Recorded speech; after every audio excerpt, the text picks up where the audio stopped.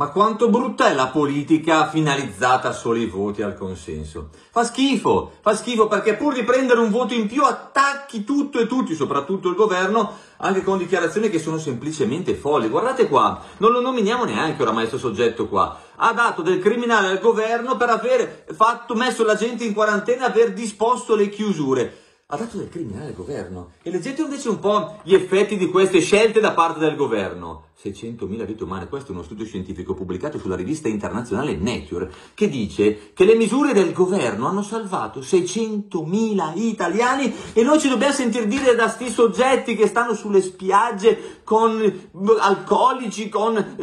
stanno solo in giro, non stanno mai lavorando negli uffici, che è stato criminale. No, non è criminale quel modo di informare le persone, quel modo di farle arrabbiare, di farli sentire livorosi contro chi invece sta lottando per aiutarle queste persone.